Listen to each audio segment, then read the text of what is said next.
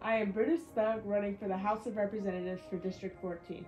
I am fully qualified to run this district and will support you and your family without failure. Keeping guns locked away promotes my stance on good safety. Security. With me in office, you'll be able to sleep with no worries every night without a doubt. With me in office, there will be more support for a clean and healthy environment for all. Every day, I will devote my time to positively change our district so that all members are happy, feel safe, and protected, and overall have trust in me.